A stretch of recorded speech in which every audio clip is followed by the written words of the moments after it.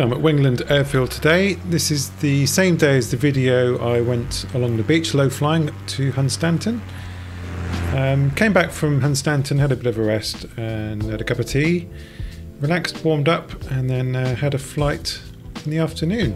So the plan for this flight is to go down to Peterborough and have a look at the cathedral. I've not flown over Peterborough before. Usually when I fly from Wingland I go along the coast because I live inland so I, I don't really see the sea very often but I thought to myself why not do something a bit different and uh, fly down to Peterborough. I always take a fancy camera with me on my flights these days and I took one of my favourite photos of all time actually on this flight so uh, stick around if you want to see that and uh, how I set it up. We're now approaching Peterborough, and um, there's a lovely cathedral here. It's called obviously Peterborough Cathedral. The original church was built in 655 AD and it was rebuilt in 1118 to 1237. There it is there. And it's known for its imposing Early English Gothic west front, which, with its three enormous arches, is without architectural precedent and with no direct successor. Some famous people buried here Catherine of Aragon, Queen of England, first wife and Queen consort to Henry VIII, and Mary Queen of Scots before she was moved to Westminster Abbey.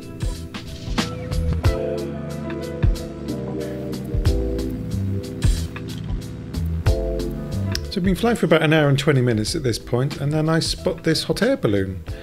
So I thought I'd fly over there. Now I could see the sun was coming from the left and was quite low in the sky, and I thought to myself, if I can get around the other side, I might be able to get the balloon directly lined up with the sun and it might make a, a good shot. So uh, here's the shot. So I just flying around and I took a photo at this point and um, if you want to see the of the high res version, there's if you click the link in the description, you can see it. And I was really really happy how it came out.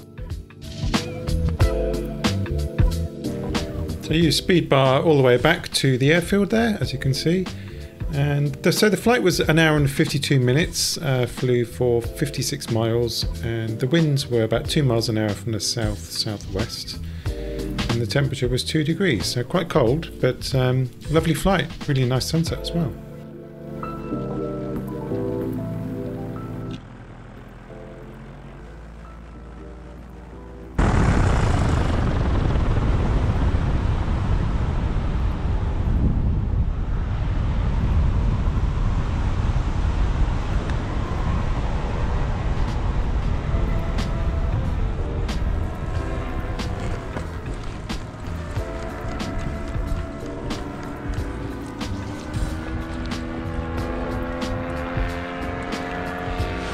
Hope you enjoyed that. If you like the photos, check the link in the description. And if you enjoyed the video, hit that like button. Thanks very much.